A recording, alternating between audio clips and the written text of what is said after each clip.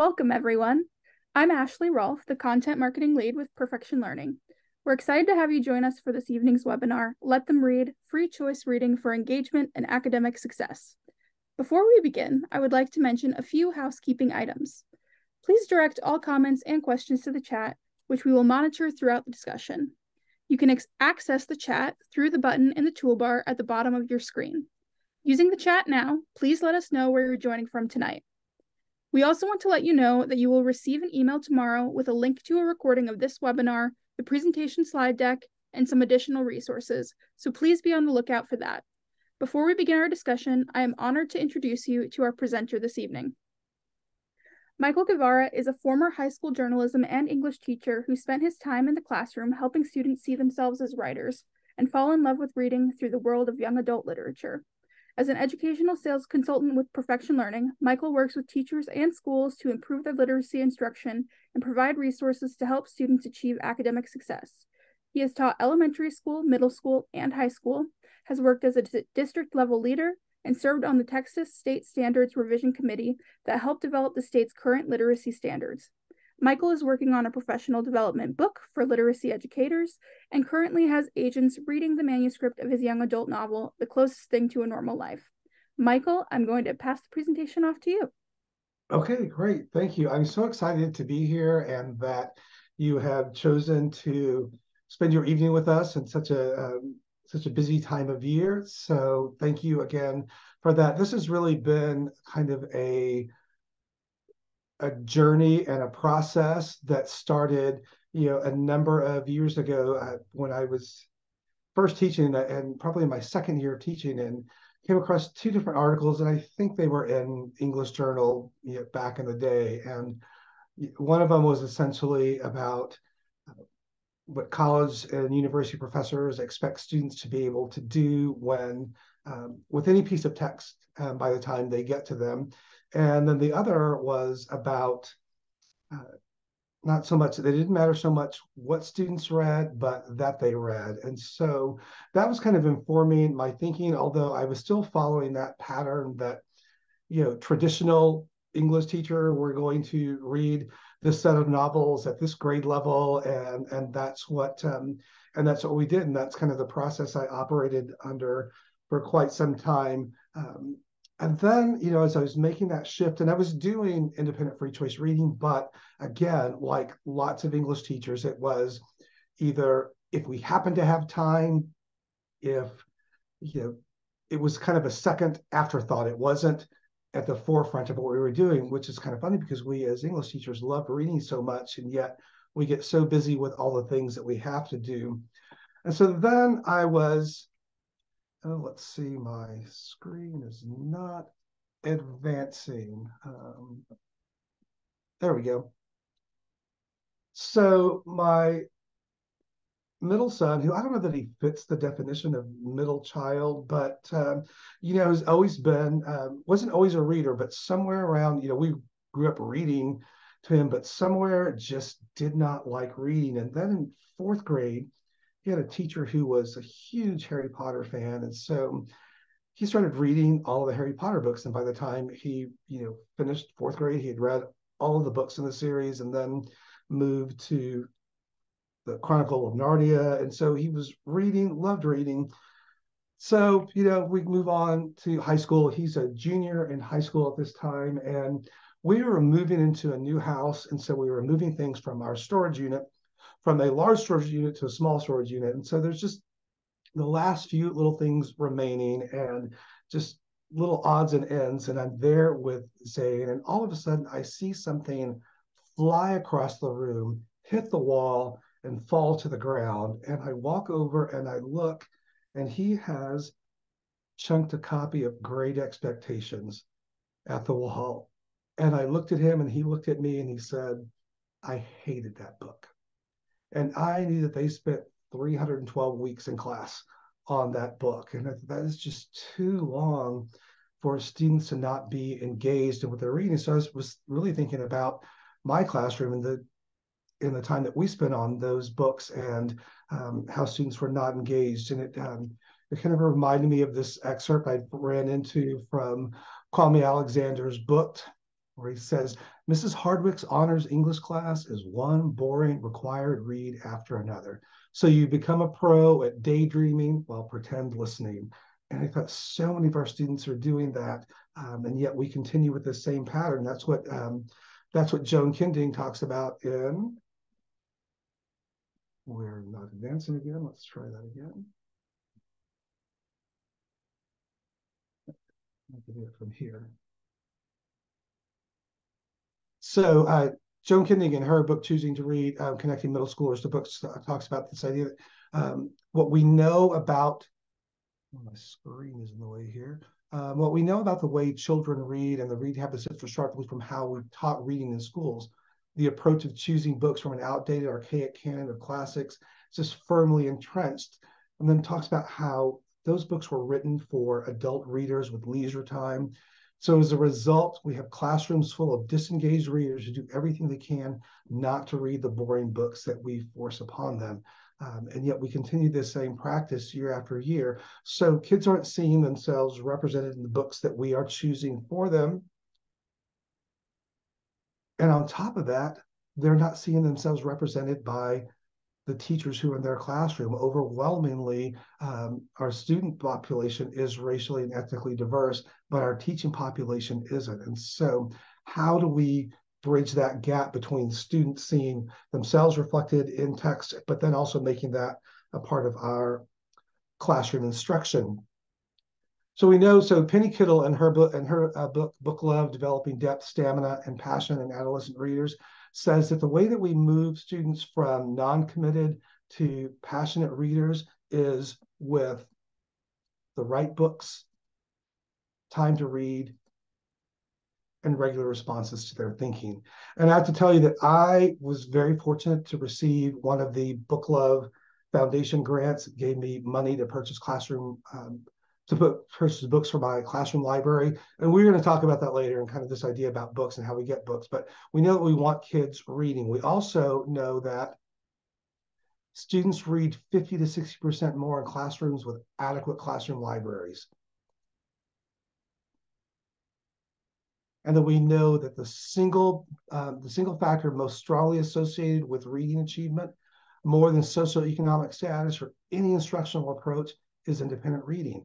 Uh, so we're speaking to that idea of how do we get that and how do we make that happen um, in our classrooms. And so we were able to do that. We were very fortunate. I've you know developed this kind of plan that I've been using in my classroom and kind of the local paper took note of that and they came to our classroom and watched um, watched what we did with uh, independent reading and how students were so engaged in the books that they were choosing. And so it was really nice um, little feature that they had about us. They went and later fixed the headline in the online version where they had a little typo, but um, uh, but it's really what what became the core instructional practice of uh, my classroom. And so and I found it was so important because Juan, who's a sophomore in my English class, and he comes up to me one day and he says, "Sir, I finished my book. I've never finished a book before in my life."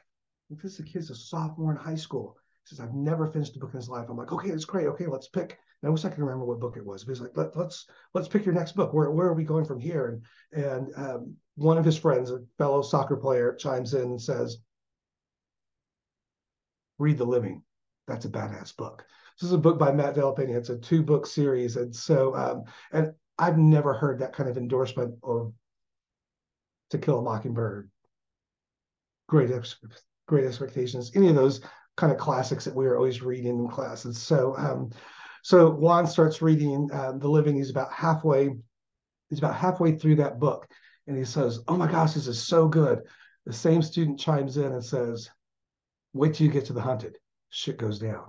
That's the kind of passion that we want from our students because whether we want to realize it or not, this is um, from um, uh, this latest study from Richard Marr and to a psychology professor at the York University in Canada says when it comes to reading, it really is a case in which the rich get richer. Research showing that the those who tend to get better at reading find it uh, read more, and they get better at reading, they find it easier and more enjoyable. And so we know that kids get better at reading by reading by reading more and the way we get them to read more is for them to have access to books they can and want to read and we know that all that other stuff, our tests, whether it's English language arts, social studies, or math, all those state assessments, those things, they're all reading tests. And so the better kids read, the better they're going to do on those tests. So how do we make that happen? Because I've had lots of teachers tell me, I'd love to do that. I'd love to have all of my kids reading the book that they want to read, but I've got 30 kids in this class. I've got 35 kids in this class. I, I haven't read all the books they've read. How, how can we do that? And so that's kind of the system we're going to go through um, this evening.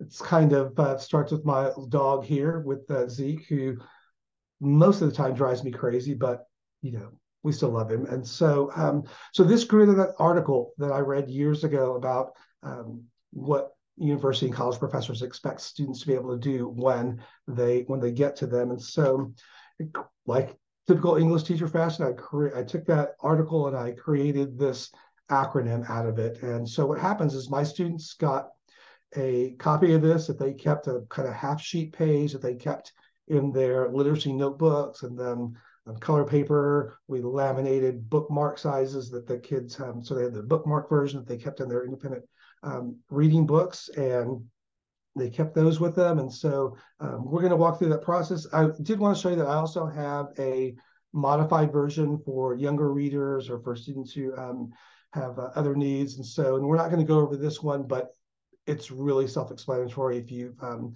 once we get um, through this one, they essentially follow the same uh, the same pattern. So we're just going to jump right into this. I hope that you have um, something to um, write with. Ashley's going to put into the chat. Um, I start. We just started off with regular computer paper folded to create these squares. I think it's three folds. You'll you'll um, you'll figure it out. But uh, it started off on paper and then eventually moved to a Google Doc. I made it much easier to read, but walked kids through this process. And so, uh, so you'll have access to that um, to that Google Doc, so where you can start typing in the um, in the chat, so you'll be able to see what's um, what's in there, and so you can participate with us. Because so we're going to have you share your ideas with us as well and see how this how this process works. And so I'm going to take you right through that. So we usually had kids they write their name, the title of their book they're reading, dates. You know, they're typical teacher things that you keep up, um, help keep up with student work, and they would fold those and keep them in their books, and that's how we started. So here's how this process works here. So we're going to start with dig deeper which is to acquaint yourself with a broad spectrum of literature genres, what cultures, traditions are work in the piece, understand what the genre, the form of the work is, read a variety of authors and types of writing.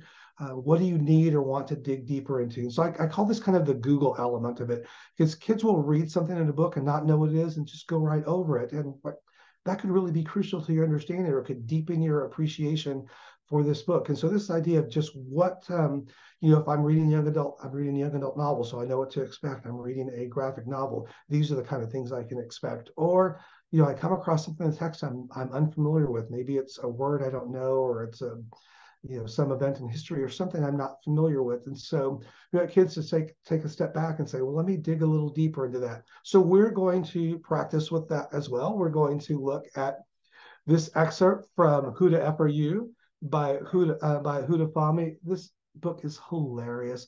It is just delightfully funny. It is, um, but also poignant and just you know points. Um, uh, it's just a, a, fun read. And so we're going to look at this excerpt from um, from Huda F You. Oh, she's right. Afghanistan. How to? Isn't it neat to be learning about your home country? Uh, not from Afghanistan. At least in middle school, I wasn't invisible. I was the hijabi. It was all I had that set me apart. And I let it become my whole personality. Now I'm not the Muslim, I'm just a Muslim. And there are hijabis everywhere. Always read the fine print. You ain't special. So if you have that document, the Google Sheet there, you can go to the D, the dig deeper, or if you have, um, if you just have paper that you're going to write on. And so looking over that excerpt from there, what's something that you would want to dig a little deeper into? Maybe you don't know much about hijabis or um, the Muslim faith, or maybe you want to say a little something about the format, the structure. You know, this is a graphic novel, so you know what to expect. Or it could even be, um, well, what else is Huda Fahmy uh, written? Maybe I want to look about look at um, Google something about the author. So this is kind of the Google moment. So I'm going to ask you to take just a few minutes, or just a little, sorry, a few seconds. We're going to um, uh, spend a little time thinking about what's something that you want to dig deeper into, and then um, let you write that. And then in a little bit, I'll ask you to type that into the chat.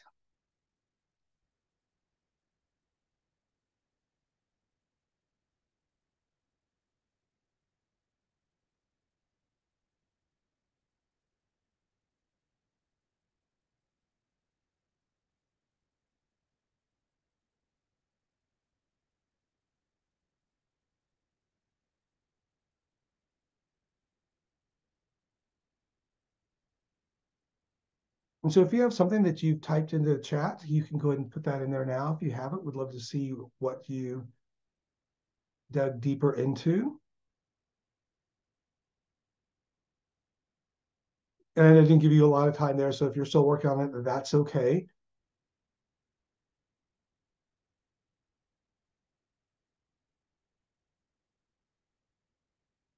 Something that you would dig deeper into. Um, Dearborn, why is why is it that she is not just uh, the Muslim, but a Muslim? Why is that significant? And so, if there's anything that you found that you want to type into the chat, that would be great.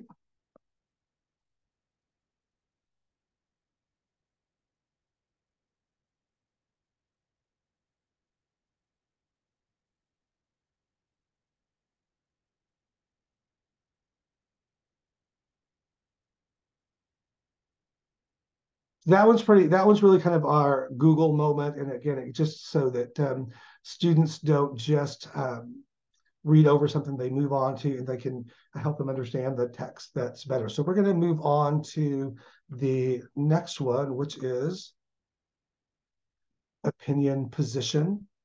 And this is oops sorry i'm clicking on the wrong thing here so more than just this, not your, what are your your opinion or position on ideas that you're reading? Do you agree with the writer with the actions of the characters? Um, support your thinking based on analysis of the text. This is kind of you know watching. This kind of reminds me of that.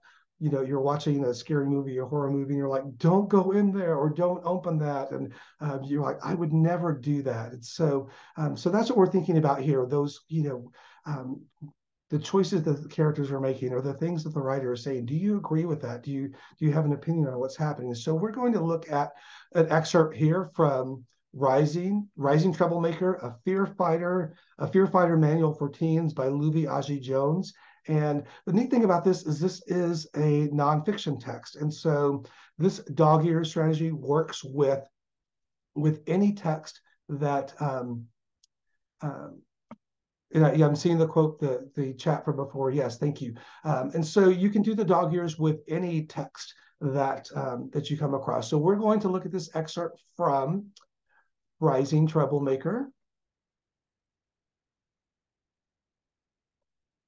Folks like me, professional troublemakers, who are committed to speaking truth to power, aren't doing it without fear. We aren't doing it because we are unafraid of consequences or sacrifices. We are we are making because of it we are doing it because we have to.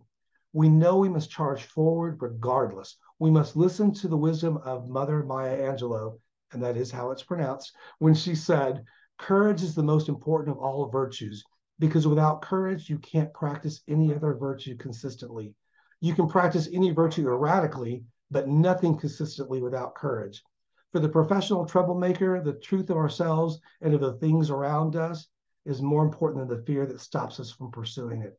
The things we must do are more powerful than the things we are afraid to do. Professional troublemakers recognize that fear is real and that it's an everlasting hater, but it must be tackled. So, thinking about that excerpt right there, um, what's your opinion and position on the ideas that are shared there? Jot that down in the chat or on the uh, on the sheet that you have there. But what's your opinion? Do you do you agree with the writer here? Um, is there something from some line from there that you have an, a position or um, an opinion about. Um, but take a little bit of time to read that over and then we'll see if we get any responses in the chat. I'll give you a little bit of time to do that.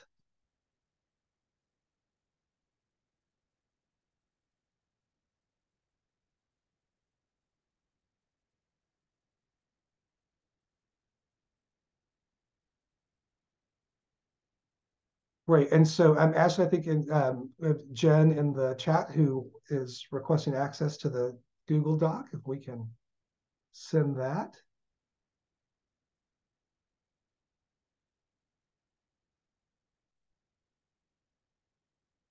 And you can also type that in the chat too. So does anybody have an, something, some opinion or position you have that you're thinking about what the writer, um, what the writer said here?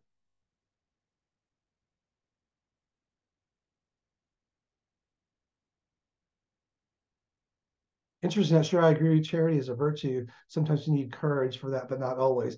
Yeah, and that's great. And so again, we are engaging with um, with the writer and having our um, having our thoughts. Um, so I like that. Courage is my favorite word. And so if you're not getting, if you see the link but don't have permission, um, I will send it to you. I'm going to provide all my contact information. You can you can type in the chat with us um, for now, and then we will um, we'll move on from there. But yeah, you're going to get at the end. You're going to get um, a much more detailed explanation of everything we're going through. I'm kind of truncating this to keep us within the time limit, and because you're adult learners, um, but you're going to get a you're going to get a detailed explanation of everything and how this came together. And So that's you know opinion and position. It's about you know do you agree with the writer? You know I'm thinking of books like know, they both die in the end. Where um, you know part of Deathcast is you know you get to fight, you get a call that morning that says uh, at some point in the next 24 hours you are going to um, you're going to die. And like, do you want that call? And then some of the people in the book either chose to live with reckless abandon, or some you know stayed in and hid because they were afraid. Like, you know, which you know which would you do? And so um, so it's about having an opinion or position about what we're what we're reading. So we're going to move on to the next one. Check the chat here really quick. Okay, so that's me. So I will I will change that um, so that you can get that. My computer inexperience, you know, shining through. Um, the next one is geography. Where and when does the text unfold, and how is it significant, or is it merely background? Does it play an integral um, role in um, in the work. And so this is, you know, just another way of the setting. Is it thinking about where, where and when the book is set and how that affects what's going on in the um, in the text? I like that idea of professional troublemaker um, as as well. Um, so we're going to look at this excerpt right here from Futureland, which probably tells you something already. Uh, Futureland Battle for the Park. And so let's look at this excerpt here. I thought I turned those off. I'm sorry about that, you all. Um, Dooley yanked the covers back. Actually, at 7:25 a.m., you're five minutes and 3.25 seconds late to meet your mother. Though I see that you're in need of at least another hour of sleep based on your oxygen levels and brain waves. Yeah, yeah. Good morning to you too. I opened one eye, spotting her two perfectly round afro puffs. I scowled. She smiled wide. Our grins were identical. Our skin was the same shade of bronze brown, and our faces had the same tiny star shaped birthmark below our left eyes. Mom designed her like that so most people would think we were family. So I wouldn't be so I wouldn't be lonely. Sometimes I forget Dooley was even a rev. She fooled just about everyone. People called mom's androids the best ever made. So in that geography section, think about that. You know, where and when does this text unfold, and how is that significant to the story, or um, does it play an integral part? So, um, you know, would this be different if it were set in another time or place? So, um, so jot some of your thoughts down in the chat about that. What you're thinking about how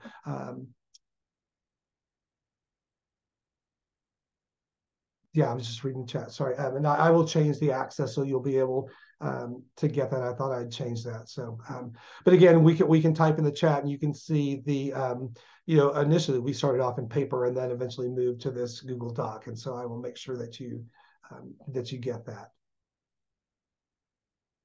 but thinking about the setting here, how was that, or the geography, how that plays into um, how that plays into what's happening in our text.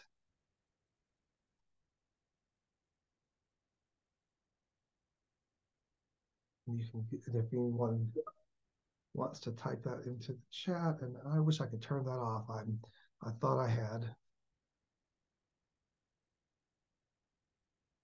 And sometimes the, the geography doesn't change, or the setting doesn't change throughout the book. Sometimes um, it does, and it's just it's something for students to think about and um, consider that here. Um, uh, so we got an Android book written 25 or 50 years ago. It seemed like science fiction, but they, yeah, I just kind of thinking about that. I think there was uh, I read about a place recently where they were um, instead of ID badges for work, they had you know kind of their scanners that were kind of implanted in them. So yeah, some of that is um, so um, so different. But you can see, yeah. So um, thinking about that, and then we're also knowing a little bit about just you know maybe we're even doing a little bit of um, predicting, thinking, oh, is there going to be a problem with these droids in the future? Um, kind of what Marjorie was saying, they're in future with realistic droids. Um, changing ideas and authenticity. So yeah, so thank you for um, for sharing those. So so that's you the geography. We're going to move on um, to the next one, which is experience. How do your experiences mesh or coincide? Uh, how do your personal past experience or personal experiences coincide or mesh with the experiences in the text? And I have to tell you, this one is. Um, this one's kind of funny because this one isn't really about ideas. I had this student, Alyssa, who um, she was reading The Fault in Our Stars by John Green at the time, and we were going over our dog ears. And she wrote and on the experience, she said, I don't have any experiences like this. I've never had cancer before. And so I'm like, Alyssa, but have you ever felt like life has treated you unfairly? Have you ever experienced something like, why me? Why did this happen to me? Have you ever felt one way about somebody and they didn't reciprocate those feelings or um, so it's really about the bigger ideas that are at work not that you've had the exact same experience and so how do your experiences how do your personal experiences coincide or mesh with those in the text and so we're going to look at another excerpt we're going to look at um, instructions for dancing by nicola yoon and in this story evie is she loves her romance novels but she's kind of experienced a setback and so she's um, giving those away, and she just she can't um, deal with those anymore. And so we're going to look at this excerpt from um, Instructions for Dancing. But of course, I'm not the same person. How could I be? I wish I were as unaffected by the divorce as she and Danica are. I wish I could bake with them, carefree. I wish I could go back to being the girl who thought her parents, especially her dad, could do no wrong, to being the girl who hoped to have a love just like theirs when she grew up. I used to believe in happily ever afters because they had one. I want to go back and unknow all the things I know now. But you can't unknow things. I can't unknow that dad cheated on mom. I can't unknow that he left us for another woman. Mom misses the version of me that used to love those books. I miss her too. So thinking about that, about the bigger ideas that are work, at work here, um, how do your experiences coincide or mesh with the text? And so if you'll take just a little bit of time to think about that and then jot a response in the uh, in the chat and we'll see what uh, what we come up with together.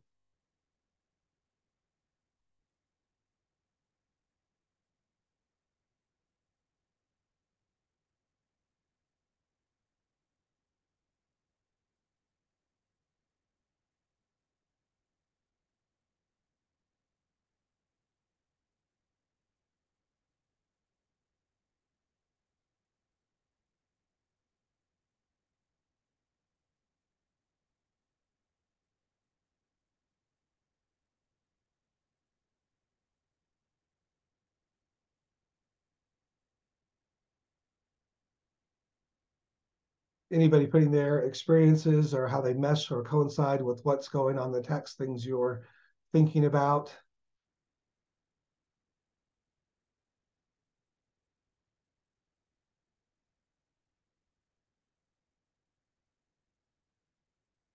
You know, the thing about these is they can be so, um, and it's student who was um, during our independent reading time and she's crying and I'm like, I don't do well with the crying thing. And so I, I walked up to her and I said, are you okay? Do you need to step outside? And she's like, sir, this book is so sad. And I'm like, oh, I'm, I'm like, sorry. Do you do you um, did you stop reading? She's like, no, I love it.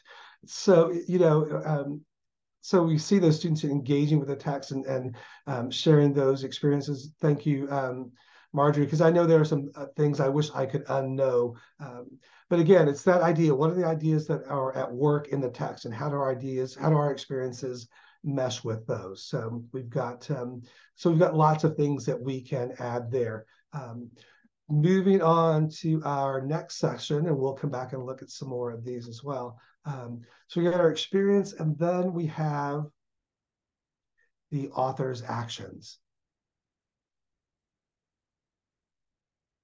Looking at this screen here. Um, and so we're thinking about what the um, what the author is doing with words, with sentences, with punctuation. What do you notice as you read? What reoccurs in the reading? So, um, so thinking about this is what the writer is doing as a writer. Um, what do we notice that's going on in the text? What can we, um, what do we notice about the writing? So this is, um, so we're going to look at an excerpt from How It All Blew Up. I have to tell you, I love this book so much. I'm just so happy to have this book in my life. And so um, this is by Arvin um, Arvin uh, Ahmadi and uh, Amir. The character in the book is 18 he is Muslim, he is Iranian, and um, and he's gay, and he just doesn't know that he can ever come out um, to his parents, and but he's kind of being blackmailed a little bit and um, extorted um, about having that secret released to his um, um, to his parents, and so he, he uh, so he ends up going on a trip, going away, and and uh, his parents come and find him and bring him back home, and they get into this they get into a big fight on the uh, on the airplane and um, shouting emotional fight on the plane. And so that creates a problem because they're iranian and people have certain expectations or certain um, preconceptions they hold about people and so that's going to take us to our excerpt here as soon as we landed Customs and Border Protection took our passports and escorted us from the plane to a holding room in the airport. Soraya, my little sister, kept asking what was going on, and my mom kept telling her to be quiet. They told us to sit and wait until our names were called. We were glued to those chairs. Soraya took out her phone, and one of the officers barked at her to turn it off. Mom snatched it from her hand. After what felt like forever, one of the male officers entered the room and looked sternly at my dad. Mr. Azadi, please come with me. My dad didn't ask any questions. He just went. Then a minute later, I got pulled into this room. Was I in touch with any organizations while I was in Rome? Oh, God, you must think I ran away to join ISIS, don't you? You probably think they recruited me to their Italian satellite office. Sir, I don't mean to belittle the evils of the world, but those guys would never take a fruit like me. I'm sorry we scared all those people on the plane. I really am. I wish I hadn't exploded at my parents like that, all spit and tears and hysteria on an airplane, especially being, you know, of a certain complexion. But at the end of the day, I'd much rather be in the airport interrogation room than back in the closet. You asked me why we were fighting, sir, and to answer that question, I'll have to start at the beginning. So if you'll take just a little bit to look over that excerpt from uh, from how it all blew up? And what are you noticing that the author is doing with words, with sentences or punctuation? Um, any things that you notice the writer doing as a writer as you as you read? So think about that, and then I'll give you a little time to look over that. And then if you can share some things that you notice in the uh, uh, in the chat.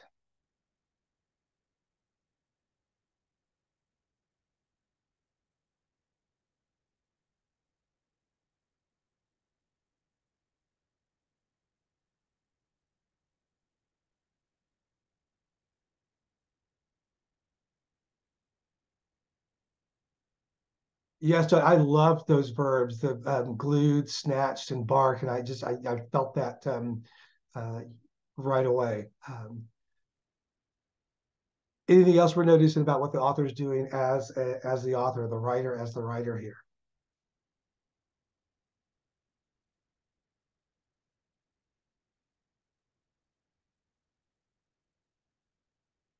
I think one of the things, and I that that I noticed right away is just even the title of the book, um, because here it is on a plane and what people um, what people believe about people of a certain um, certain complexion on the plane and how it's called how it all blew up and then how we used the verb exploded at my parents and people are assuming that those are kind of um, this kind of people and that's what they do on planes. And so I, I just I really liked um, that uh, how the how the author did that you know, the other thing that happens here is this is a place where students often ask questions. I typed this exactly as it was in the book, the um, the ital uh, uh, the text in italics, and so and that may be a question that that a student writes in their author's action. I noticed that he's writing in italics. I don't know, is that because he's thinking this or because it's a, a flashback? And you can kind of also see, you know, we've got kind of a non-linear story here because I have to start at the beginning. Um, yeah, that um, the per, the point of view that heightens that immediacy. So yeah, so we're paying attention here to what the author's actions are, what what the writer is doing as a writer here. So um, beautiful piece. I just, I, I, just love this book so much. Um, so we're going to move on to our next one, which is reflection. Um, more than whether you like it or not, um, discuss the hows and whys be specific what do you wonder? And this is kind of just a you know we're reading here and what is it making me think? Um, what, what do i wonder about? Do why do i like this? Why do i not like this? What what you know what about this part? And so it's just kind of you know thinking um, thinking about our reading and thinking about our thinking as we're reading. So we're going to look at this excerpt from Patron Saints of Nothing, which I have to tell you, what this this was my the year this came out, this was my favorite book of the year. And this was the book that I was recommending to everyone all the time. It was just so, so beautiful and so powerful and so moving. So I absolutely love the book. I still recommend it to people. And so um, uh, so you have our character who is um, senior in high school and just, you know, content to play, you know, video games and and you know go on to college the next year. Um, but he'd you know been pen paling with his with his young his cousin as a as a young child, his cousin in the Philippines, and um, then he hears that his cousin is um, murdered as a part of um, Duterte's you know crackdown on drugs, and nobody in the family wants to talk about it, and he has so many questions, and so he ends up going to to the Philippines to visit and to find out what was going on, and puts himself in really some dangerous situations. So let's look at this excerpt from patron saints of nothing. She must be careful, Professor Santos says, looking around as if to check for anyone who might be listening. Those who are in power do not like the truth to be known if it does not make them look good. During the Marcos regime, hundreds of journalists and other critics of the administration disappeared into thin air. Right now, any investigation involving the drug war that seeks to tell a story other than how effective it is is dangerous. One of my colleagues wrote such a piece then he wrote another, and then he was arrested on some tax related charges I'm certain were fabricated. Think that is some coincidence? And surprised the government lets those stories be published at all, I say. They can't do much about the foreign pieces except dismiss them as sensationalism. As for the domestic reporting, they can't do anything directly because we have freedom of the press, he says. But don't think for a moment that they don't keep track of every single person who criticizes them, that they don't find ways to apply pressure on these individuals when it suits them. He pauses to let his words sink in. Mia nods. Then he turns to me. So, Jay, are you a journalism student back in America? I shake my head. High school senior. This is a matter of personal interest. He considers this. Most people are content to let things be. With all the digging Mia has told me you've been doing into what has happened to your cousin, perhaps you're meant to be one of us. The first sign of a good reporter is an unhealthy obsession with the truth. So thinking about that, as you reflect on that, what you know, what do you wonder? What are you thinking about?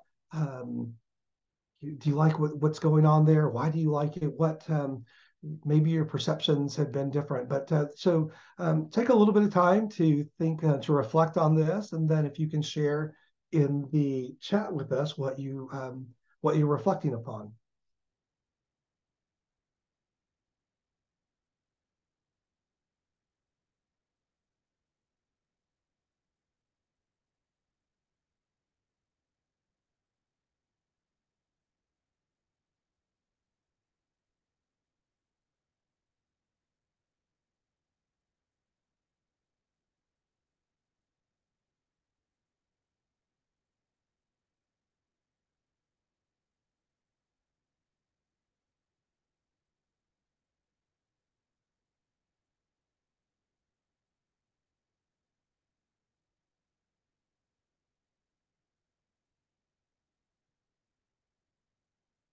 And once you have anything, feel free to drop that into, into the chat.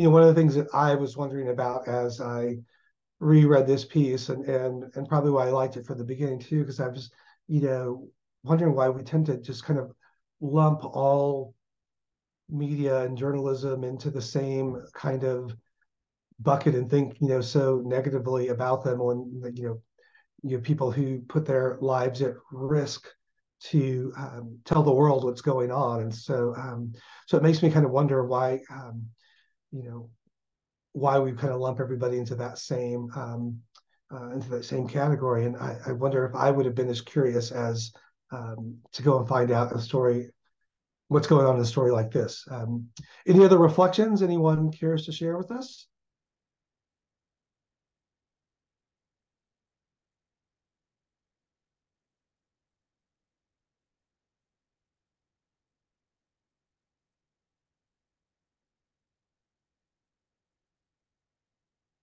because this takes place in another country, gives American readers safe space to examine. Like, yeah, that's um, yeah, I like I really like the thinking there. Um, and it, you know, it seems you know as we you know um, perspectives and and depending what people's you know biases are, yeah, we can we can have all kinds of um, uh, all kinds of misperceptions as well too. And it, but yeah, I like that idea of you know a, a safe place to to process that. Um, this is an absolutely beautiful book, and and again, I just I love it so much. And if you um, if you haven't read it, I I would just recommend that you that you get this one. I think um, students will really um, like that. Any other reflections before we move on?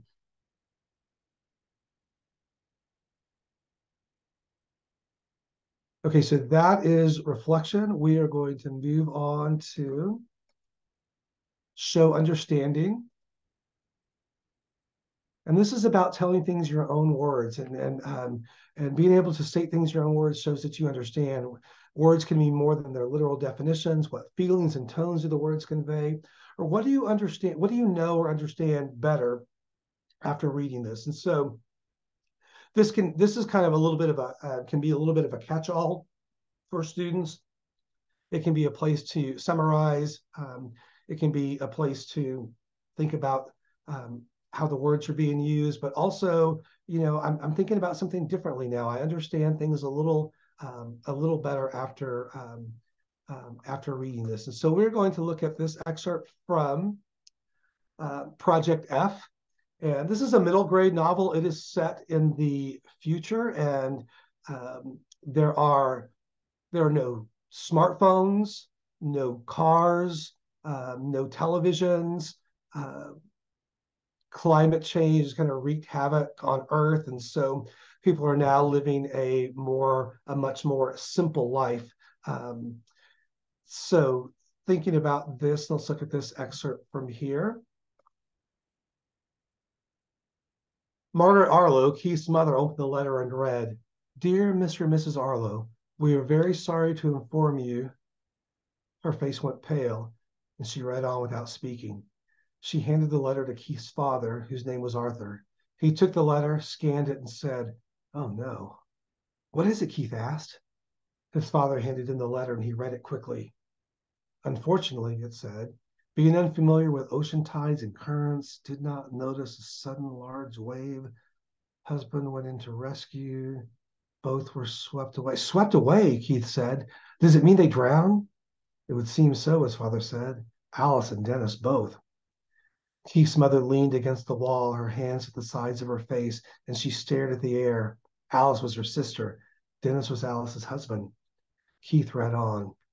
As nearest relatives, you will be responsible for the child left on the beach, currently in the care of Sandwater Children's Home.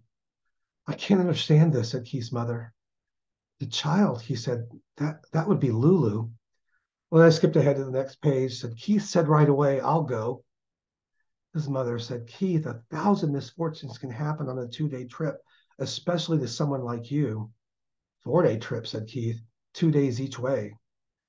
Curse his foot, said his mother, I'd be on the train in a minute if I hadn't missed that step. His father simply said, It's a big responsibility. Keith reminded them that he was smart, capable, strong, and almost 14 years old, though his birthday was not far for was not for another eight months. So thinking about that, um, you can um, summarize what's going on there or um, think about what you might understand differently after reading this or some other thoughts. It's uh, lots of things can go on here. So I'll give you just a little bit of time to to think about this passage here and just something in the chat.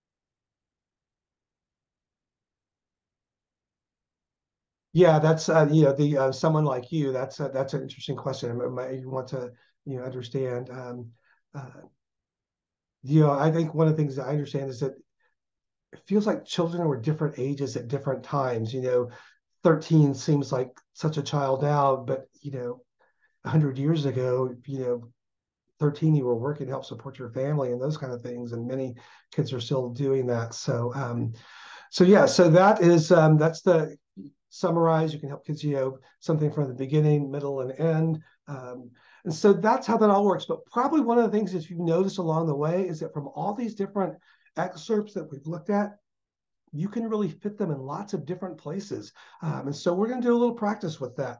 I'm going to give you um, two more excerpts. We are real quick. And um, because I love this book so much, there's this excerpt from uh, from how it all blew up.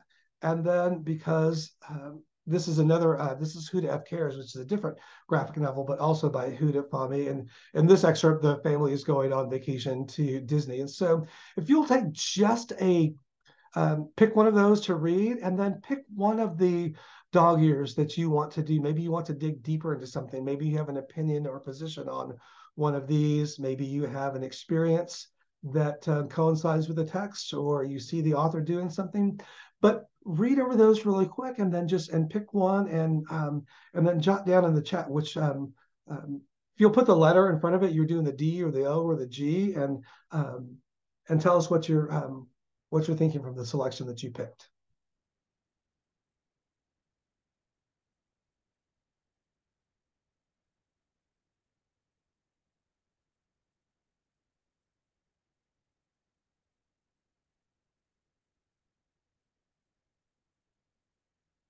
Sorry.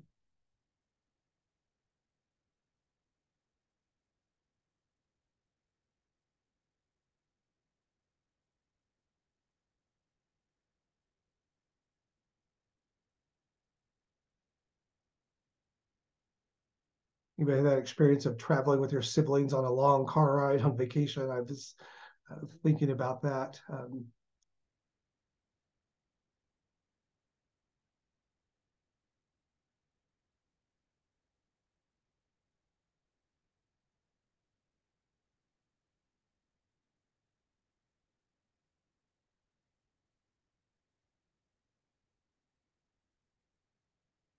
and probably as you one you know you'll find that your your students will get to know these really well um, we're kind of you know walking through them and so it's not as easy for us to um, jot those things down but it really this became the core instructional part of uh, of my teaching. It and we did so many things with this. I could um, you know students got this on monday and you know could turn them in on friday. And so and because teachers you know like I have two grades a week or three grades a week. And so this gave me something that I could um, connect with my students and also became part of our reading conferences.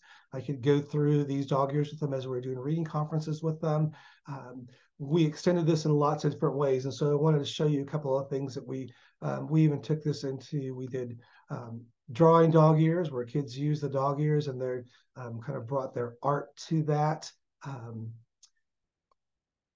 different ways to look at that. Kids really will amaze you with what um, what they can do and kind of bring that higher order thinking in as well because they're creating the images and the words and putting those um, those ideas together. Um, we could do this with, you know, if I gave out an essay or an article from class, I could choose the things that I wanted them to do the dog ears on.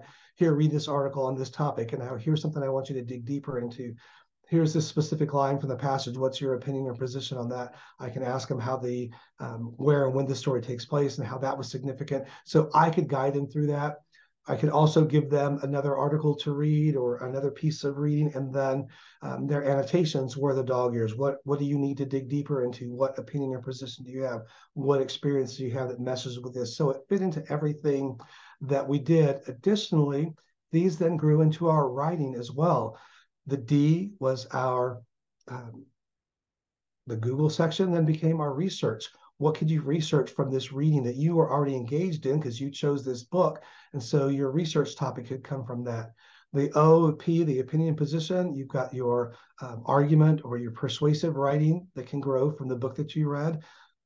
The geography the show understanding and the author's actions is the literary analysis portion of that. And so we can look into that. And then the reflection and the experience, those became our personal narratives, our memoir writing. So everything, uh, when I talk about how it became the core of my instructional day, that's really what it was. Everything that we did grew out of this strategy. We could add it with everything else. Um, I recently shared it with a friend of mine who um, went from administration to teaching, and uh, he sent me this text message just a few, um, just a couple of weeks ago. Kids are settling into independent reading, and I did group projects on the books we were reading as a class. I'm hearing dog ears in their presentations. It's awesome. I model my independent reading for them all the time verbally, and I share my logs with them. Dog ears has made me a better reader too, and then kind of the rest is just you know for him and me. But um, and then I shared it with another friend of mine who works as an um, in a region service center here, working with teachers and instruction. And um, one of the messages she sent to me is, I'm loving dog ears and other content areas. Social studies is always a natural fit, but really liking the connection with biology. And so you see when I tell you, you can work with any um, piece of text that you are reading and um, and kids internalize it and they get so good at it. They, they, know what to do and it's not taking away from the enjoyment of the reading because they're still choosing to read but then there's also this the ability to talk about what it is they're reading. Um, when i was working on my first uh, my first young adult novel um, that my agent is out pushing now and hopefully some of you will be able to read it one of these days but i, I there was i was doing some research and i reached out to one of my students um, former students and i said i need a little help with something and can i can i pick your brain and ask you some questions? And and uh, I love this response that I got back from him. Mr. Guevara, I didn't even know you were writing a book. That's awesome. It's the least I could do after all your help these past years. And I would have needed some other author to believe that your writing was good. Haha, I better get excited or I'll have my lawyer contact you. Seriously, can't express how much I appreciate you and all your help. I'm excited to read this book when it comes out too. I'll be sure to send you a dog ears of it. And I just, I, I love that. It was, um, again and i will tell you and I, he's a character in this book I, there's one little scene and i just i think i flat out named him mondo rodriguez and the young lady who stopped me, uh, who said, you know, was crying over the book, and I love this book. Uh, I had her when she was a sophomore, and I saw her senior year. She stopped me in the hall and she said, "Sir, I started reading this book in your class, and I didn't get to finish it. I found it in the library, and I finished reading it, and I loved it so much. so, um, so it's really about engaging kids and helping them become lifelong readers. Um, you will get all of this is all this is my next book that my agent is working on and hopefully you'll read this soon too. You have all my contact information there. I'm going to stop sharing here so that if anybody has any questions and um, or anything that you want to ask i'm happy to um, answer that. You can either type in the chat or um, i don't know if ashley if they can unmute and we can talk but i'm, I'm happy to um, to share any of this with you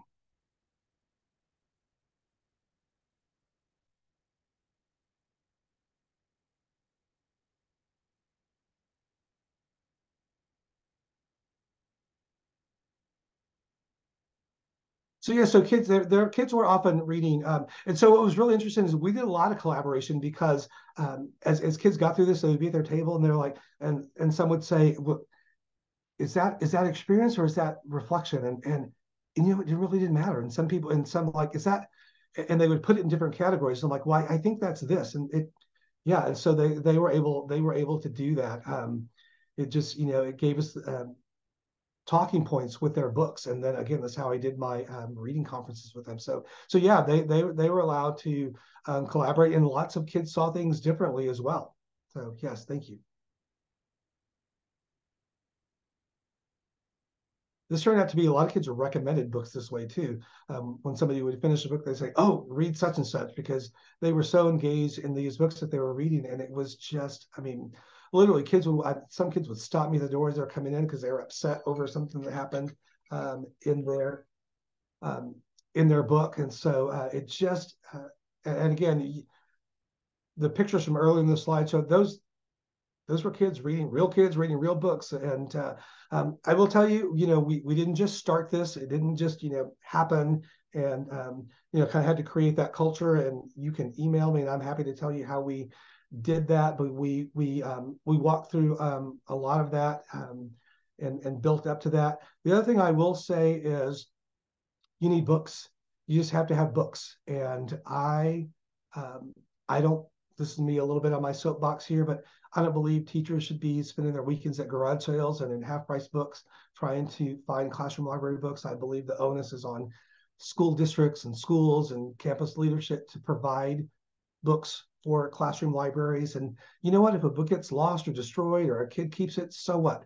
Replace it because we want kids having lifelong experiences with books. And the way they do that is by engaging with books that they love to read. So, so get them those books. I'm seeing this book in the background right here, um, Barely Missing Everything. I, I had a teacher reach out to me because I gave him that book. He's like, do you have any more copies of that book? My kids are fighting over it. So, um, and so that's what I did. And so this, and again, it became a part of everything I did in my classroom. Kids were reading books, loving books, crying over books, arguing over books. It was just, you know, and it just, it, and then my kids did great on all those standardized assessments that people expect because they were becoming better readers because they were reading things that they wanted to read. So it just, yeah, it, it served every purpose. And I will tell you, I was in a at a low socioeconomic school, so it, it um, you go back to the, the research from Stephen Krashen. This is more than any instructional approach, um, regardless of socioeconomic status, independent, free choice reading. That's what that makes the difference. So thank you all for being here this evening with us. I you're going to get copies of all of this. You've got my contact information there. I, I will share anything with anyone. If you want me to, I'll come out and do this at your school or whatever, you know. So um, um, I, I just love sharing. So thank you again for spending this time with us. I know it's a busy time of year. Um, so I'm going to turn it over to Ashley and wrap things up. And thank you again. Thank you, Michael, for offering your time and insights tonight. And I also want to say thank you to Penguin Random House for contributing yes. Thank you. Mentioned. Um, as a reminder, you will receive an email with the webinar recording, uh, the slide deck, and additional resources tomorrow. We'll make sure you have uh, access to that link um, and the dog ears uh, that uh, Michael walked through. Um, to stay up to date on great ELA resources and other webinars like this, please subscribe to our Next Step blog. It is nextstep.perfectionlearning.com. Uh, there you'll find other webinars like this um, and great lessons from Michael as well. Um, and please also follow Perfection Learning on all our social media accounts so you never miss a post and so you can stay up to date on future webinars. Thank you so much, everyone, for joining and have a great evening.